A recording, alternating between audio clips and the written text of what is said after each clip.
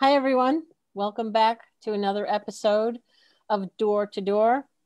I'm Virginia Stanley, joined by my colleagues Chris Connolly and Lainey Mays, the Library Love Fest team.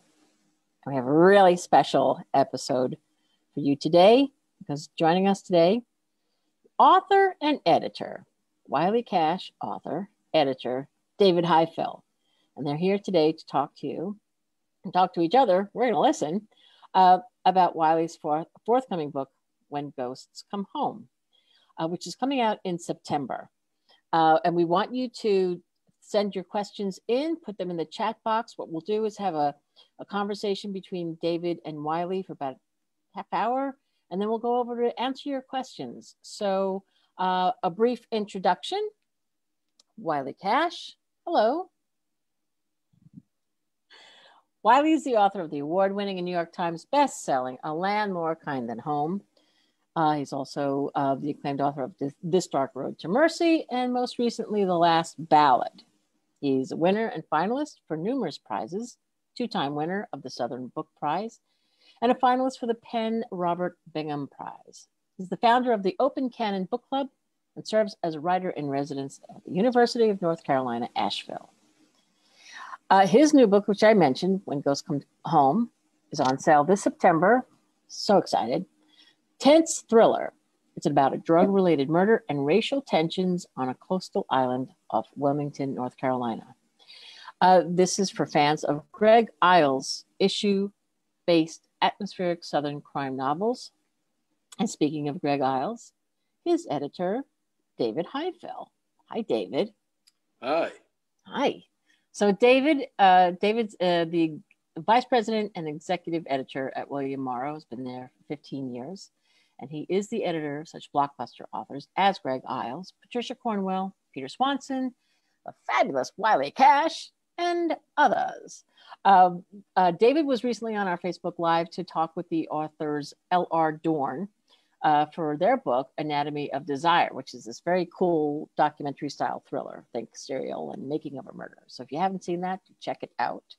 Um, but I want to thank you both so much for taking the time to speak to each other, to us, to librarians, to talk about this amazing book. Wiley, so much excitement about this book. Librarians, as you know, are rabid fans of you and your writing. And so I can't thank you enough. And David, you are a treasure as a as a human being. I love you madly. Ditto as an editor. And so thank you gonna, so much. Yes, yes, yes. So we're gonna get right to it and and hand it over to you. And again, please send in your questions. Uh, we'll have a few of our own, Chris and Laney and I. But right now, it's time to hear from author and editor David Highfill Wiley Cash. Hello. Go. So the, I think the first thing we want to talk about really is, without giving too much away, the, the the bones of the book. The fun is in the reading, but it's nice to know a little bit of something, something. So we're going to talk about a, a little bit about the book. Wiley, I think you're going to read a little, just a little bit, so people get a sense of what that is. But also, you know, just the the unique uh, relationship that you all have. Nobody has that relationship. It's very unique and special, and you've been You've known each other for 11 years, and that says so much. You haven't hopped around while you're here. We're so fortunate to have you and to and to be un, under David Highfill's wings. It's a beautiful thing. Mm. Lucky you're both so fortunate to know each other, and and we are the we're just as fortunate to have your beautiful books. So. Well, thank you, Virginia. I feel really fortunate too to be with y'all and Chris and Lainey um, and I feel like I'm kind of a unicorn. I've had the same editor, the same publicist, and the same agent and the same marketing team with both libraries and, and largely with sales since my first book was purchased way back in, I guess, 2010. So um, the support that y'all have given me uh, collectively as a publisher has been incredible. And, and also with libraries, um, the support that librarians and, and, libraries have given me, not just as a writer, but as a reader. Um, I know David may want to mention this as well, but you know, my support from libraries goes all the way back to growing up in Gastonia, North Carolina, which was not a bustling book town, if you could imagine. Um, we had like a, a, bookstore in the mall that you know may, may not have stayed open for very long, but in my family, when you turn six years old, you got your own library card. And I can remember getting my library card. It was a, like a color of a manila envelope and it had a little metallic strip in it. And I remember I, I can recall holding that and thinking, I will never be bored ever again. You know, if, if I can't play in the woods or I can't shoot basketball or um, whatever, I can always have a book and I will never be bored. And so I still go back to that library. Uh, it was foundational for me. I always go back when I have a book out. And now we're living in Wilmington, North Carolina. Shout out to our librarians, Kip and Laura. They've just been incredible supporters of, of my family and me. And I wrote much of the last ballad in the local library here because we were building a house and I didn't have anywhere else to go. And libraries gave me a place to go. So thank you for, for serving me, for serving democracy as well uh, as community centers. But um, yeah, that's libraries have been foundational to me. And, and David grew up in North Carolina as well. Yeah, my dad was a professor, um, and my mom worked in state government. And I remember them taking me as a kid in the 60s and 70s and leaving me at the, the public library on Fayetteville Street in Raleigh, North Carolina. It was a different time. And I remember them leaving me there for an hour, hour and a half or more, and thinking that was like going to the movies for me. That was like being considered a grown up. And I could do what I wanted. I could get the book I wanted. I could I could read Alistair MacLean and Ian Fleming that my parents had no idea, you know, what it was, or I could read, you know, something more serious. But uh, anyway, libraries for me growing up were just incredibly important. And mm-hmm. maybe if I hadn't had that, I wouldn't be where I am today. So not forgotten and really treasured. Um, so maybe we should talk a little bit about the new book that we have. Oh, sorry, right there. Uh, the new book that we have coming out. So um, I'll say my setup, David. I'm kind of still learning how to talk about the book, uh, how to how to put it together, and how to how to kind of pitch it.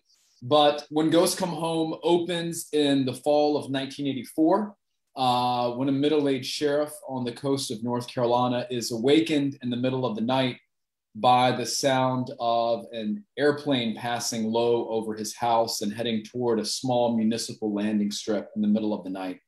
And the sheriff knows that there is no good reason that uh, a plane of that size, he can feel how large it is, should be landing on this turf runway uh, in this sleepy coastal hamlet uh, in the middle of the night. So he goes out to check it out. What he finds at the end of this runway is an abandoned DC 3. It's an enormous airplane, much too large for this small airstrip. And it has crash landed on the runway. It's completely empty. Um, there is nothing inside of it. It has been abandoned. And on the runway, beside the aircraft, is the body of a local man who's been shot dead and left behind, just like the aircraft. And so after that, a mystery ensues. How did this airplane arrive? Who flew it? What was inside it?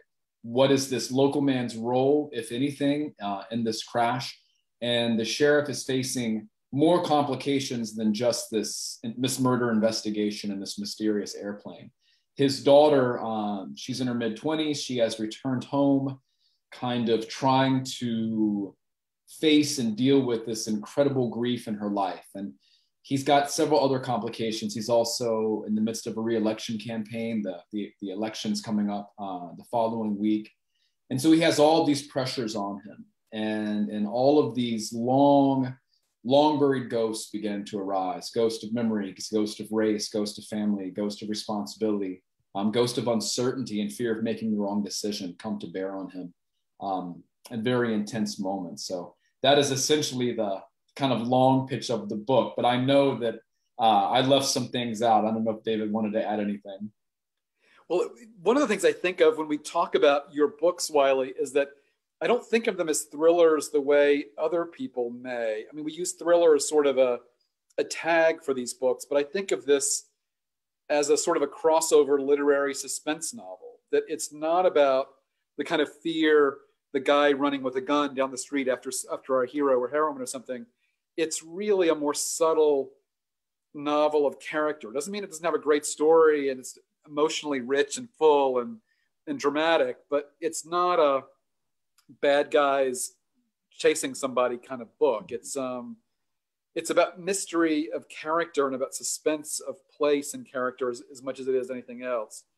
And I love that about your books and about the way family and past and relationships that we think of as being tangential sometimes you know bubble up and create um, great tension and the kind of things that that um, drive smart fiction, what, whatever kind of novel it is.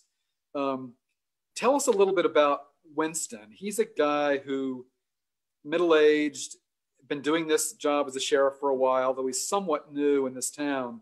Tell us about you know how you think of him and who he represents to you, kind of who he is and what he's doing in this book.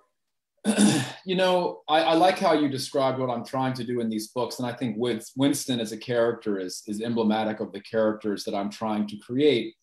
And those kinds of characters are characters that I don't get tired of spending time with. You know, I think every writer writes to their strengths, and I feel like my strength is character. You know, if I knew how to write a pulse pounding plot, believe me, I would but David, I think you and I both know that that's not necessarily my strength. And, and oftentimes I get to a point in the novel where I'm so deep in character and I catch myself and think, wait, how's this going to end?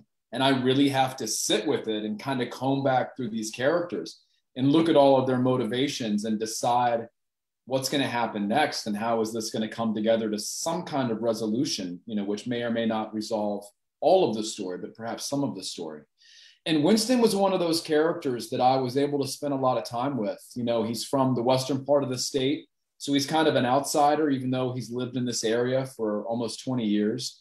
Um, where the novel is set off the coast of Wilmington, North Carolina, it's a little island called Oak Island. And my family actually moved down there in 1998. And, and, in, and in many ways, they were fish out of water. It really took them a long time to understand the pace of island life, understand kind of the, the history of the place and, and the social structure of the place and um, and all of that. And so Winston's a guy who who in some ways has brought his past with him. He's brought some of the regrets that he that he found himself uh, getting involved in back home in Gastonia, back where he's from in the western part of the state. And and you know they come back to haunt him. They come back to bear on his life here in, on the coast of North Carolina. And he's a guy who cares deeply about his community. He's a he's a he's a law officer who cares deeply about doing the right thing. But there are a couple of instances in the novel where he has to decide is the ethical thing always the legal thing? And, and how do I differentiate between those two? And in terms of, of the legacy that I may leave behind to my family or, or of how people outside of my family are going to judge me, does it matter? You know, and, and he was a character that even until the very end of the novel, he was constantly surprising me. And, you know, I don't write quick novels. Um, and, and having a character like that with me, it makes the process of writing it feel less lonely because I feel like I'm with somebody that I'm trying to figure out, somebody who's always surprising me. Um, yeah. Yeah. I, I, love him, and I and I grew to love him even more through the process of your writing because you were sharing pieces as you were going along and trying to figure out kind of what was going to happen. Um, anyway, you, you're raising those questions with me and wanting to talk about those things, and the process is unusual. Um, and anyway, one scene that I love in the book, and you and I've talked about this a lot, is a scene where Winston, as the sheriff, um, sort of in the middle of the book, and a young boy has been brought into um, the um, his office, um, and there's a question of whether he's going to be held or arrested or whatever. Um, and I believe it's that scene or one near, nearby where Winston has a conversation with his longtime secretary or the woman who kind of she's the receptionist maybe in the mm-hmm. sheriff's office, and it's a really troubling, poignant, disturbing scene but it's a really quiet scene. Um, tell us about that scene without giving too much away. Can you tell us about that woman and how that conversation developed and, and what you think readers will feel when they read that? You know, that was um, the scene that you're talking about. The folks who have read this book early, whether it be family or friends or librarians that I've heard from, and I love hearing from librarians. You can email me through my website. Um, but that scene has stuck with people probably more than any other individual scene that people have talked about.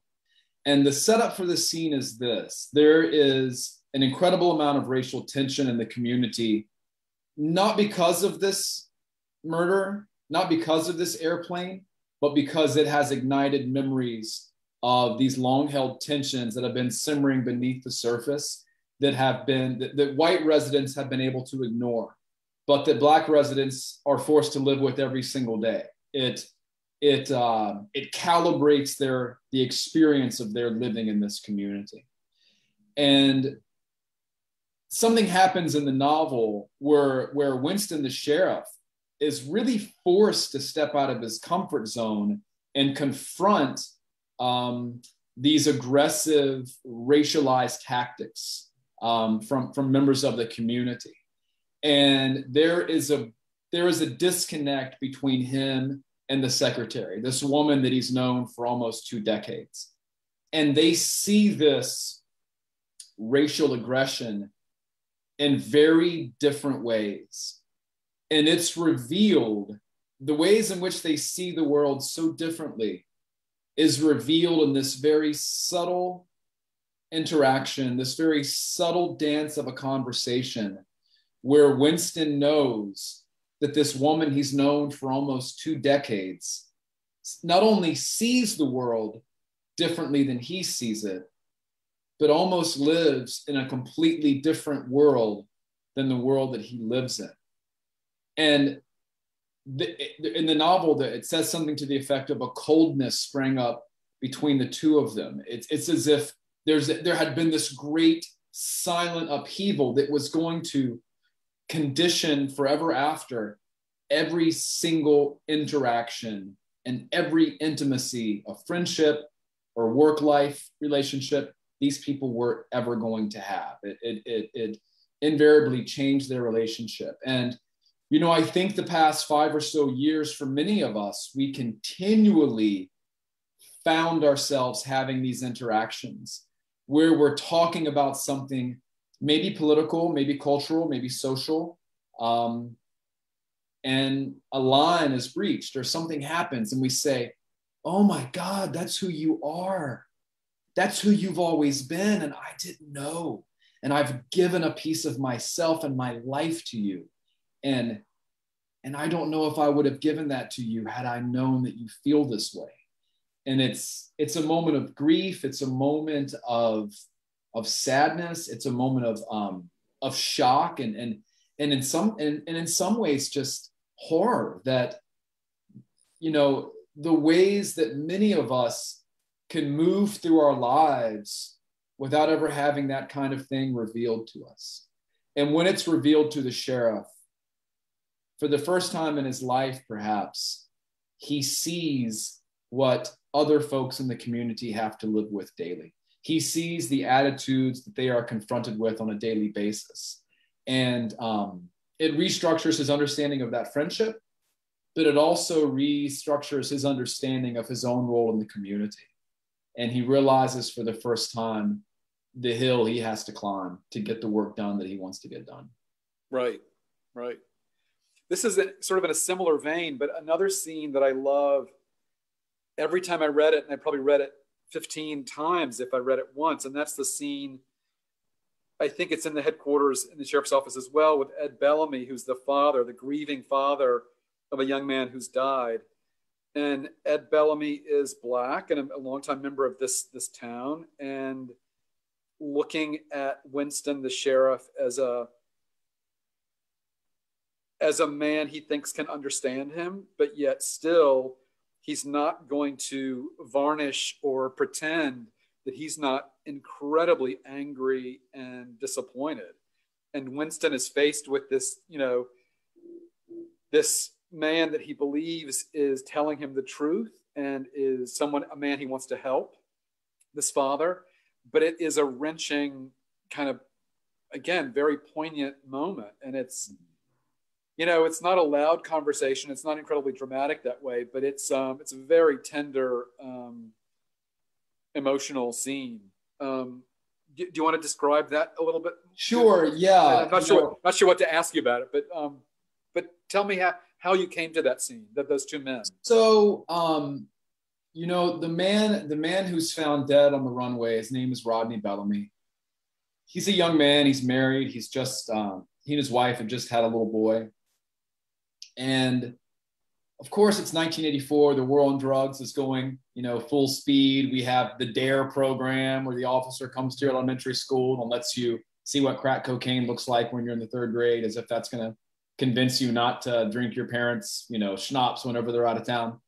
Um, but all of the, we have all of these headwinds of, you know, outsiders and drugs and um, Willie Hortons and, and, and all of these things going on and coming to bear, especially on, on rural spaces, white rural spaces, um, which are not always white, certainly not in a place like North Carolina, but they're coming to bear on these uh, cultural and, and oftentimes economic conversations, certainly all political conversations. And, you know, all of these rumors spring up like, well, there's this local guy on the runway who's dead and he happens to be black. So, of course, he was involved in this. And of course, it was drugs. And of course, it's the black community bringing drugs into the community.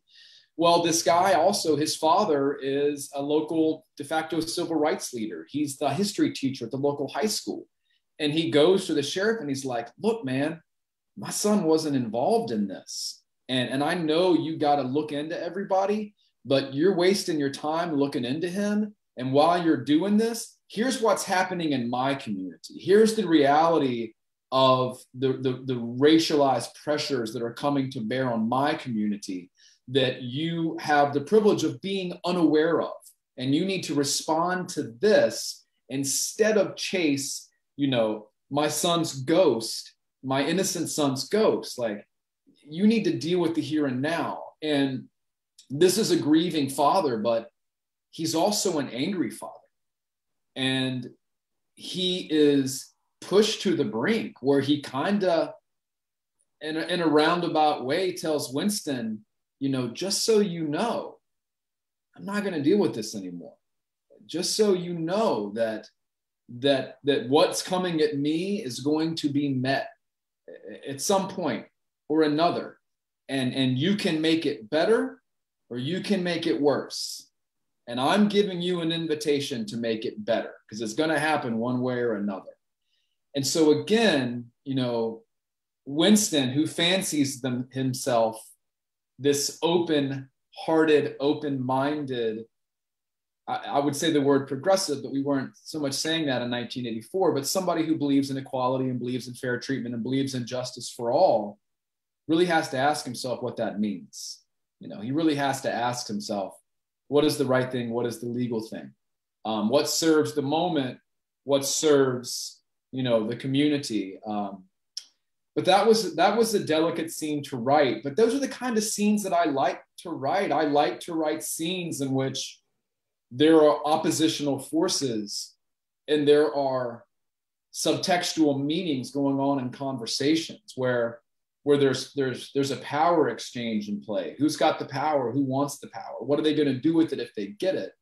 And and those kind i think of those things as these little and i'm not a plot writer. I'm not i'm not good at setting out a plot but i think you know if i can if i can write this scene and make it really tense then that tension has to go somewhere. It's going to leave the scene on a little trampoline and it's going to bounce into the next chapter or the next section.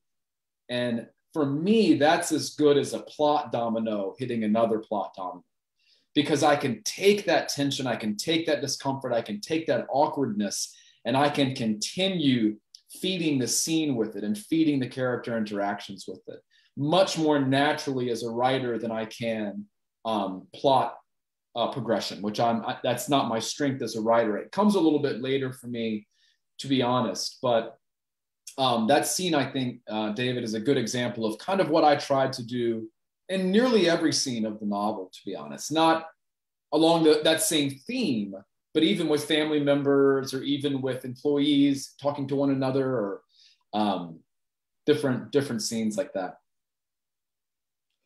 This is a craft question, but tell people about how you how you write. And you're not someone who writes about the same character every time, the way some thriller suspense folks do. Um, and you you start with a relationship or with a situation, but you often kind of write a good bit of the novel before you really feel out what that plot is going to be. And you and I have conversations after you've written 100 pages and then after you've written 200 pages and sometimes you you go in a different direction sometimes it's just it's so i don't have that kind of conversation with many writers but it, it's it, it, it opens the door to, to me to kind of understand what you're doing and what questions you have and, and to hear what you want in, in a story which is well, so much fun because anyway i really enjoy it well, one thing I can say about how I write is I've been writing by by longhand, and this is the novel I'm working working on right now. Page 20, David. 20 handwritten pages. Good I'm job. 20. I'm showing my homework.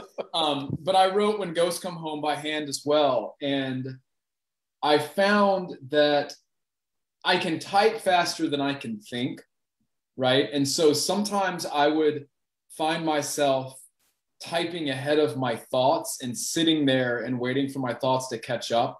And for me as a writer, it was just torturous panic to see like the cursor blinking and me not having the words to feed it. But when I'm handwriting, I write relatively, you know, I write as fast as most most people do, but it's not at the speed of my thinking really. And I I, I realize that I can feed my my words can feed my brain and vice versa when I'm when I'm handwriting this stuff. Um, and so I do think long and hard about about character, about scene dynamics over you know the ideas of plot and and how the story is going to progress forward again just because that's my i feel like that's my strength as a writer my my strength as a writer is in these tight packets of scene character interaction dialogue descriptions of settings um, things like that. And then I have to look at what I've got at the end and say, okay, I have a general idea of how all these characters' impulses are going to come together to provide a lot of tension. And I need to find out where that tension goes. And oftentimes, you know, in working with you, I'll give you, you know, 20,000 words, 50,000 words, the whole novel.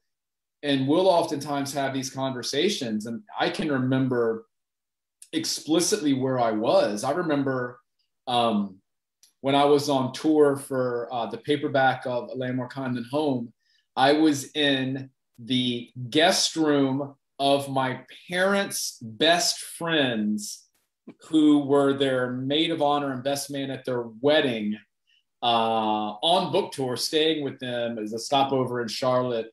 And uh, you were on, we were on the phone before an event and you said, you know, I'm reading this and I see the kind of novel you're trying to write. I, I hear you saying what kind of novel you're trying to write. And I'm reading this novel over here. And here you are on your second novel.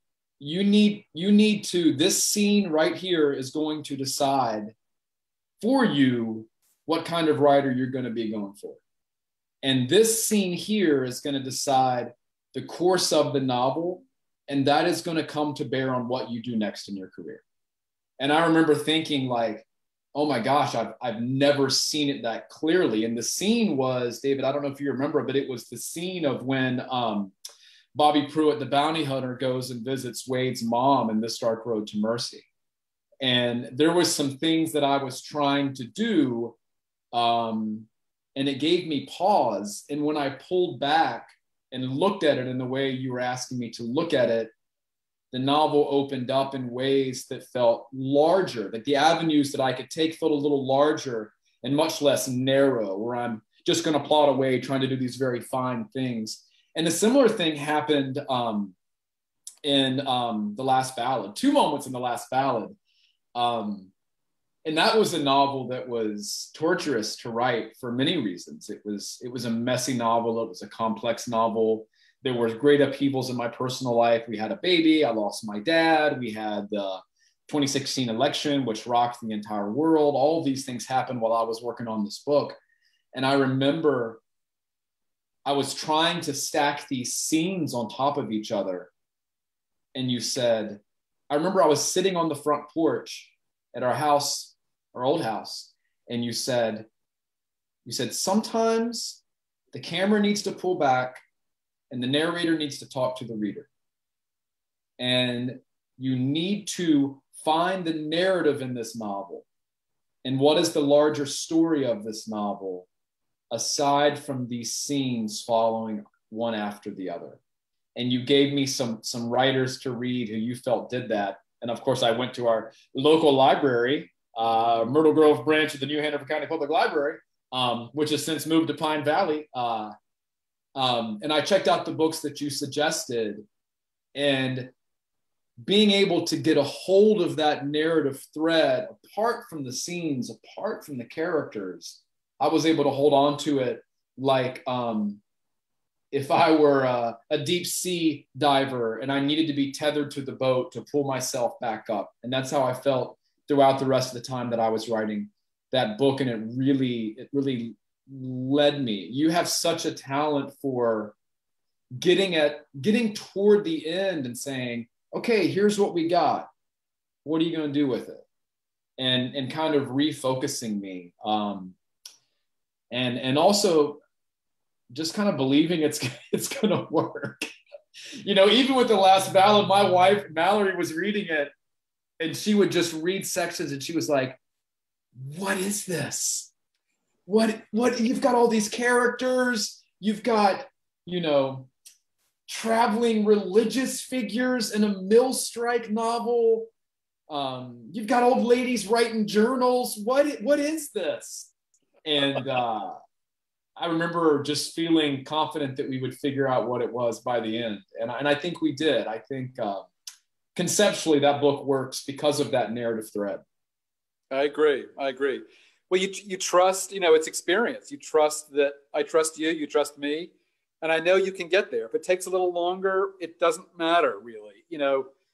And people say, people say to me, "Where is the, where's the manuscript?" They want to publish it. You know, it's in a certain slot in the in our schedule coming up, and we plan a year and a half away. And I'm just like, you know, part of learn, learning to be an editor is saying it's just not ready. So it'll be ready soon. It's not ready yet, but um, well, even with the landmark that's, that's the fun of saying we've worked together, and so my bosses know you, and my the marketing team knows you and so we all trust that Wiley's going to pull it out, and he does. So you know, wow. yeah. Well, thank you I for think, doing that. I think that what you both just said now speaks to, uh, as I was saying before, just this relationship that you know that is so um, singular and uh, unique and trusting. My God, I mean, as David said, now it's 11 years, and a whole lot of wonderful books and that's um, you know we could get into the nitty gritty of line line editing and all that stuff but we know that's you know every every editor has their different way and every editor and author have their own relationship but hearing this and wiley especially hearing from you like you remember where you were mm-hmm. and i don't know david if like if you even realize the impact of that moment on on wiley but but clearly it uh, it it packed uh, quite the the emotional punch and kind of scary too. I would imagine, sort of like, where am I going with this now? What's going to mm-hmm. happen next? And it's going to define who you are as a writer going forward. I mean, that's it's a crazy, amazing relationship built on trust. I mean, you also hear about editors and authors, as you were saying before, David. You know that that you know don't stick together. And here you are all these years later and all these fabulous books later. And that says something about both of you. So i don't i could listen to you guys forever. I do want to get to some of our questions. And then if there's anything else that you you know you want to uh, you know say or go back to some more questions and uh, there's so much there well david you were saying this is there are so many um, advanced reviews wonderful blurbs from fellow authors. And I was noticing that um, we have beautiful reviews here, beautiful just raves. And um, the one thing that, that keeps showing up in in these these lines of love for this book is how timely this book is. So it's you know it's set back uh, in the 80s, but it's um, it's it's just so it's just so timely, and it, these are these are lessons that need to be learned again and again. Lou Berney I'm just going to read this quick and then I'm just going to go to questions. But Lou Berney, as we all know, author of November Road, among others, and he's just an amazing guy. says when ghosts come home as a gripping mystery as complex and layered as the characters who inhabit it set in 1984 wiley cash's exploration of race justice and grief of the fault lines that rip apart families and communities could not be more timely uh, De'Shawn Charles Winslow author of in uh, west mills raves about it says this is a timely gem um, Lauren Wilkinson, author of American Spy, the perfect novel for our present moment. I mean, there's this is the thread. This is and I'm just going to read one more because we love Kevin Wilson and he clearly loves you. And when ghosts come home, Wiley Cash reveals how family and history and the threads that connect us can contain such mystery. This is a masterful example of storytelling told by one of the most open hearted and clear eyed writers I know. Kevin Wilson, authors Nothing to See Here. Also, an open hearted and clear eyed writer, I will say, because he's amazing. Um, but you know, just such lovely words from your fellow. Well, and, and can I can I can I say something, Virginia? It was you know i was i was so honored to have gotten as many blurbs as we did from writers that i genuinely adore their work and, and many of them i adore as, as people because i know them a little bit um, but what i loved about this book more than um, some of the some of the other um, blurbs that i've gotten or the experience of getting the blurbs was that all of the responses came back and they said, you know, here's the blurb. And then nearly all of them would have comments to me about, I didn't see the ending coming, um, and, and maybe some questions. And Kevin wrote um, that he was he was really surprised by the ending, and he said, "But it was it was great because you came by it honestly." And I thought, oh my gosh, that's really such kind feedback because I've never written a novel that has kind of a surprise ending. Um, and this is this is my first. I feel like this is my first real mystery. Um, before I've written novels where the reader has all the information and the mystery is going to be when do the characters share all of the information with one another. But with this novel, the reader doesn't have it, the glean the reader gleans the information as as you go along and uh, this is this is my first real mystery i think so the fact that kevin said that and people were surprised by it i found really really touching and really honoring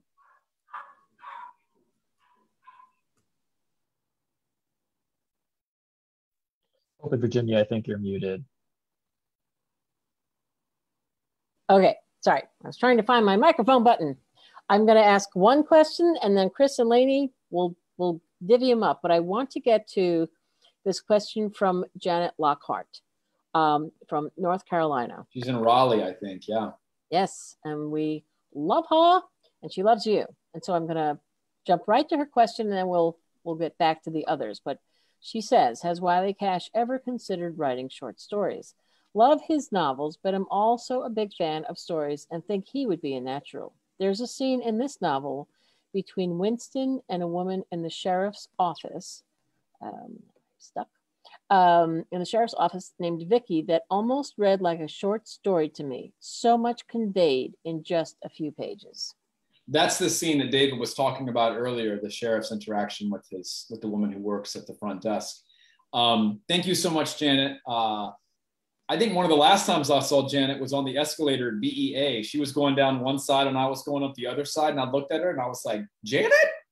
Um, but, you know, I have written some short stories. They're horrible. Uh, I published some short stories early on in my career, and I published an excerpt of A Land More Kind Than Home as a short story. And that's how my agent, Nat Sobel, found me. It was published in a magazine um, called Crab Orchard Review. Um, I love reading short stories, but I'm, I'm just not a great short story writer. I think that, as I said before, you kind of write toward your, your abilities. And I love reading short stories. I love, I love studying short stories. Um, and I always think when I read a successful short story, I think, how would I have done this? And um, I tinker from time to time. I published a short story in um, a magazine that came out last year.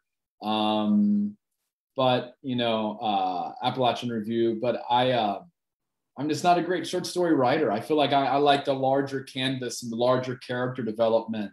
because um, short stories are such fine, delicate things with these fine points to them. And, um, you know, when I think of short stories, I think of masters like Danielle Evans or Ron Rash. I'm looking at my bookshelf right now. Um, but yeah, I love reading them. But thank you, Janet. I wish I was better at writing them. Um, I want to ask this question for Maureen Roberts. So, what does it mean? And close to, you know, interesting to me because I'm another Southerner. We talked about that earlier. But what does it mean for you to be a Southern writer, and how does that label make you feel? You know, I think it means a lot to me to be a writer, period. Um, I was thinking a lot about this, uh, and thank you for that question, Maureen. Um, but I was thinking a lot about this recently that, you know, I've been doing this, I'll have published four novels in nine years when this one comes out. And I never thought that would happen. And, you know, I, I do a lot of things to keep this going. I teach and I write dude, I do a lot of different stuff. And, um, but this is still going because of librarians and booksellers and readers, um, aside from the stuff that I'm doing. So the fact that I'm a writer, period, still seems new to me. It seems like something I should say in a whisper instead of out loud in case somebody hears it. Um, but to be a Southern writer it go it goes both ways. And I mentioned Ron Rash earlier. Ron's talked about this. Um, that Southern writer is almost like you're a writer, but you're also Southern, so you're like, you know, stuck in this region in between Appalachia and Pennsylvania, perhaps.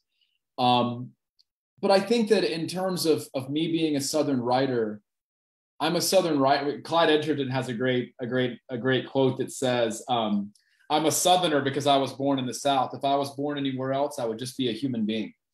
Um, and I think that being born in the South, it obviously gives me something to write about. It gives me a lens through which to see the world. But I hope that the issues that I'm that I'm writing about, issues about family and social accountability, um,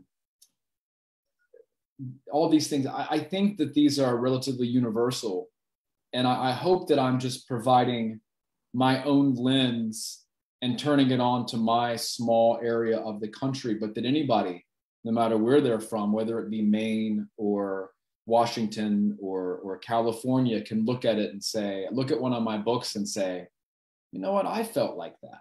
I, I felt like I didn't know the true character of someone I was close to. I know that feeling. And that happened to this sheriff in the, on the coast of North Carolina, but it also happened to me in Sacramento, California. I know what that feels like. And that's what I'm really interested in as a writer. Um, so I feel honored to be a writer. I feel honored to be a writer from the South. But I, am I'm, I'm, I'm, I'm most interested in, in, in creating those characters and putting them in scenarios that are familiar with readers no matter where they are. Excellent. Okay. And let's see here. We have a question from Marianne Casel Burke, who uh, says, Hello from Northern New Jersey. Wiley, what is the hardest part of working with your editor? I just read the book on Max Perkins, had no idea of the process.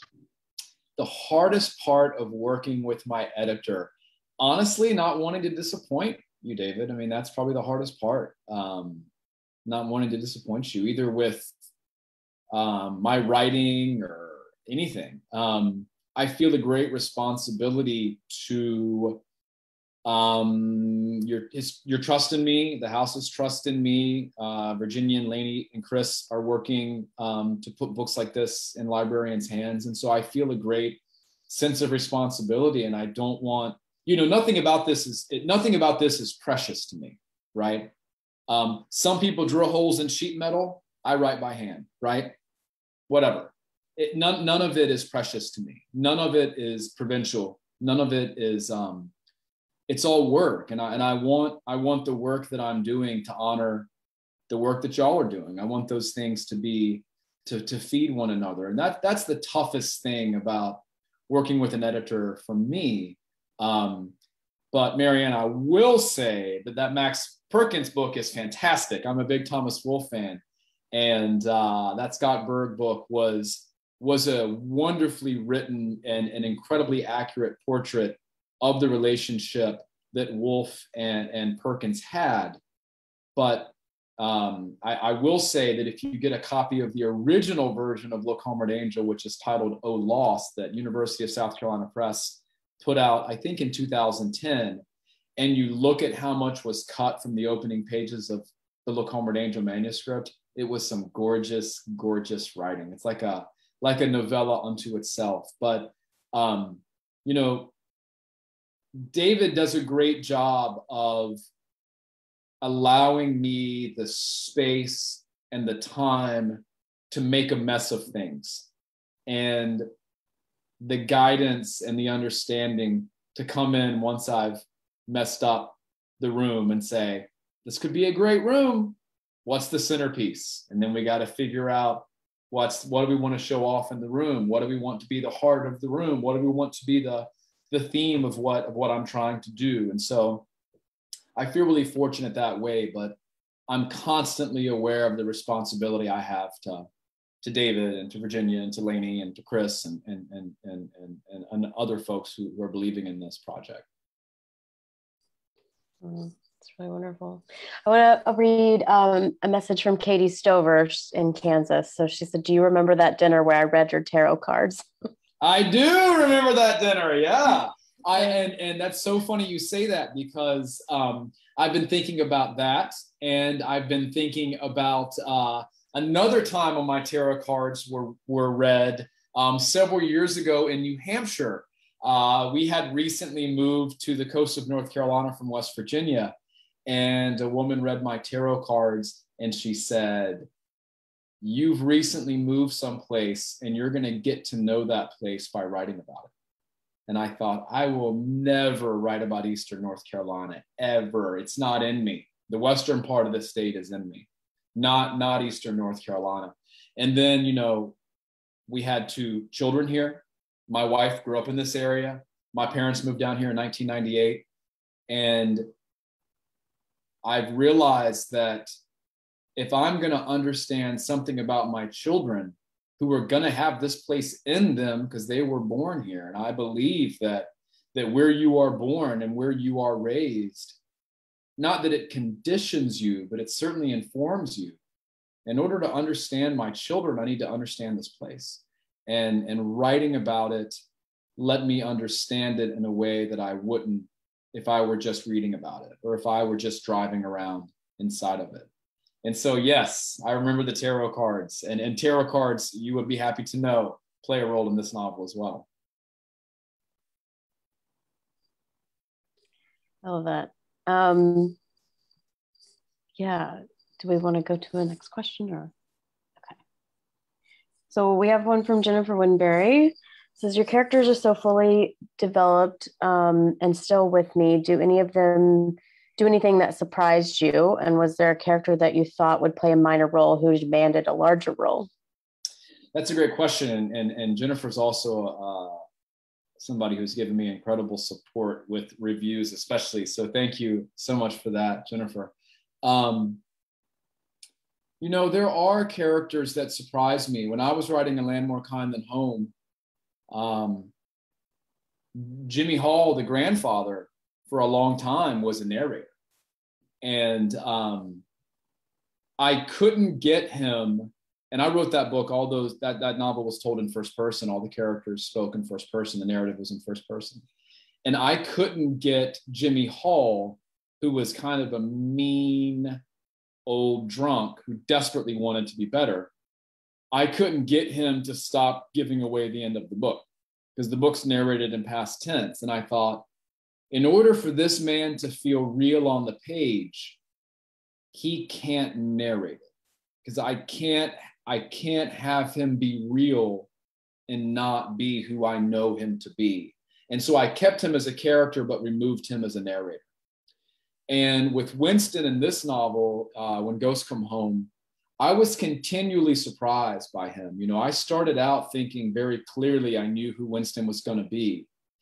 And then he kept surprising me and the novel kept surprising me and the relationships kept surprising me and I never grew bored or too comfortable. I mean, even up until, you know, I think, I think David may know um, that he might not. Always tell David, like, there are 20 writers for you. There is one David for me. So please know that I always understand that. Uh, for, for Virginia and Laney and Chris, there's like a hundred writers or, or more, or 500 a season. There's there's one Virginia for me. There's only one Virginia for me. There's only one Wiley for oh, us. Oh, that's so kind. But um, even at the very end of the revision, like last summer and into the early fall, Winston was still kind of making decisions that I thought, oh, are you sure? Are you sure you want to do this? Are you sure this is how all of this is going to come together or not come together? And so, Jennifer, you know, I, I, I, I, I, you spend a lot of time with these people and they kind of become real to you, which makes you feel, makes you seem a little bit, you know, um, strange when you tell somebody that, but it makes it so so much more sensible to spend time with them and to kind of watch them and, and to kind of find your way through their impulses when they feel that real to you. It's easier to write a book with people you believe in than than than than uh, chess pieces you're moving around a board. David, well, do you do you? I'm just going to happen for one sec before Chris, you get to that next question. But I just wanted to get David back into that. And how do you how do you feel about what what Wiley just said? Are you you know because he he was Wiley was really brave because he was making some choices about what about Winston and what he was going to be doing, and the end of the book, which is really um, it's a big it's a big ending, um, and um, it, it, Wiley was very honest with me about and himself about how he was going to do this and what what the choices were and they started at the beginning of the book, then went to the middle of the book, and they affected the end of the book. And it was it was fascinating. And I think that you know Wiley's being very accurate about that, you know, but without giving too much away. But um, anyway, it was a. Uh, I've never been that close to a writer trying to figure out um, how he was going to, what decisions he was really going to be making about a character like Winston. Anyway, and, and it, was, it, it, was great. I, I, I, loved I loved where it ended up, and I and I but I I feel like I never directed you, Wiley. I never said please do this, and if you do this, I'm gonna like scream. If you do whatever, I didn't. I didn't, was there was none of that, right? I mean, I was like, you know, just go do it and figure it out, and we'll talk about it. But you know, no, there was no there was no yelling or screaming, but there was a moment where I sent you a draft and like, you know, stepped away, and then I emailed you and was like, don't open that, don't read that what I just sent you, that's not going to be the end. That's not, don't read that one. And you were like, so don't read this one. I was like, don't read that one. Whatever you do, don't even, don't even open it. Um, cause it was, it was so fluid. I mean, and this was last summer. I remember I was down in Beaufort, South Carolina doing a, doing a incredibly social distance event with the Pat Conroy Literary Center. And I was in a hotel room with a broken air condition and like on a 95 degree day you know, trying to think about this novel and terrified that I was making the wrong decision. And, and, um, I think then we like had set the pub date by then maybe. And we were like, we need to decide what happens at the end of this book. But you came across it organically. You, you, you made some decisions and tried it out and you changed some things, but you, you did it organically. It wasn't yeah. like, this is what has to happen, map it out. Like it's sure. got to happen this way. That's yeah. not the way you write. I knew it was right because it surprised me. I, and then that, that made me know it was right. And I also knew it was right because I hadn't planned it. And, and, and that's when it really felt right. I agree. So, David, did you open that or not? Well, I didn't open that version, but I knew kind of where he was going based on some conversations and other things I'd read. So I knew that that was a direction that he was um, struggling with, and I, you know, I was I was anyway. I I don't want to give anything away, but let, us say let's say you know. Anyway, does, does that help? Mm-hmm. You know what? The fun is in the read. So yes. Um, yes. So um, yeah, that's that that's that's fine. You've answered the question. Um, we have we're we have a few more minutes and Chris, I think you were going to ask a question from Janet and Ron Block, right? They're wanting to know. Just sent you a. Okay, let's see. Yeah, uh, and I think both are of a similar mind in that uh, you talked about authors that influence you, and I think people want to know what authors you might recommend for reading. Ron Block says Wiley is such a huge supporter of other authors. Can you recommend a few must reads? Gosh, uh, I know Ron from the Cuyahoga County Library outside Cleveland, Ohio. Um, he's been very supportive of me as well. Um, authors that I think folks should read, you know, the book that, that we were talking about at the top of the show, uh, Anatomy of Desire, a new Morrow book. It's it's structured like a podcast. It's a murder mystery of sorts. And, and what I love about it is it's a book that teaches you how to read it. And I uh, applaud both the bravery of the uh, authors and also the ability to influence the one dimensional page to the point where I feel like I'm listening to a podcast. It happens almost immediately where you're experiencing a podcast. So that's a book. Um, I'm about 50 pages into that one. Um, I'm a couple of books that I'm really, really excited about that I'm teaching this fall in my class at UNCA. Um, one is a novel, uh, a collection of essays called Aftershocks by a writer named Nadia Owusu. It's about her search for identity. She has kind of this multinational identity, and she she she finds herself in America asking, you know, what do all these parts of my life uh, what do they make up of me? And, and, and she finds many of the answers to her own questions of identity in the literature that she's reading. It's just this beautiful conversation. Um, so that's a book that I've been really, really excited about. Um, another book, if I may be so bold as to get up, um, is by my friend Ashleigh Bryant Phillips. Uh, this is put out by a small publisher in Spartanburg, South Carolina called Hub City Press. Um, it's called Sleepovers, a story collection from rural Eastern North Carolina. This is a this is a really gorgeous book.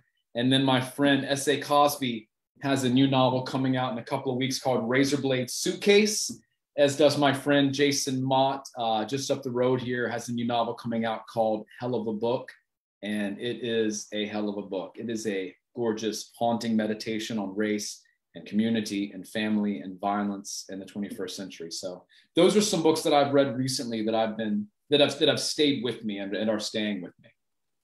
Wow, that's fantastic. That's that's uh, those are some great uh, recommendations. Um, you know, we're we're we're starting to run out of time, so if we haven't answered your questions, um, Wiley is very active on Facebook, and so if you have any questions, that we haven't gotten to, please, Wiley, I'm sure that you will be more than happy to answer them mm-hmm. uh, on um, on your Facebook page. I did want to ask you, Wiley, did you still want to just read that tiny little snippet? Oh gosh, yes, yes. So I thought I would read uh, an, an excerpt that kind of sets up the, the tension for the novel.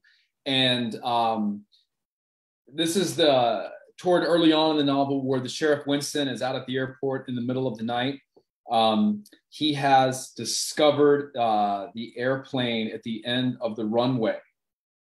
And he's looking at it and he's wondering if, if there's somebody inside it. It's pitch black. He can hardly see. There's no lights out at the airport. Winston unholstered his pistol and stood with it down by his side. Hello, he called. He waited, but all he could hear was what seemed like the sharp, tinny silence of the airplane's presence. Anybody in there? He only raised his gun when the bouncing beam of a flashlight caught his eye. Someone was coming across the grassy field from the parking lot on his right. Winston turned in that direction, and that's when his eyes fell on the body of a black man lying on the grass alongside the runway. In the scattered beam of the approaching light, Winston saw that the front of the man's shirt had been blown wide open and his chest was dark and damp with blood. The man's eyes were open, but it was clear to Winston that he was dead. He trained his pistol on the approaching flashlight, and he wondered who had shot the man on the ground in front of him, wondered if that same person was approaching him now. He was surprised by the night's turn of events, But in that moment, nothing in him was scared. He was simply ready. And after my reading of that, let me say that the brilliant JD Jackson is doing the audiobook. He most recently did the Jon Meacham book about John Lewis, Colson Whitehead's Nickel Boys, and the audiobook is gorgeous. So check that out if you're if you're if your uh, patrons are into audiobooks. I want you to read the phone book to me.